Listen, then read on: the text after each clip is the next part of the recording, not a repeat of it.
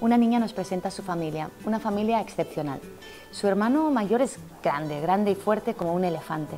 Su hermano pequeño, en cambio, tiene mucha imaginación y canta muy bien, tanto como un pájaro. Y su madre es alta, alta y un poco tímida. A veces parece una jirafa. Y ella, la niña, pues también es muy especial, porque estamos frente a una familia salvaje.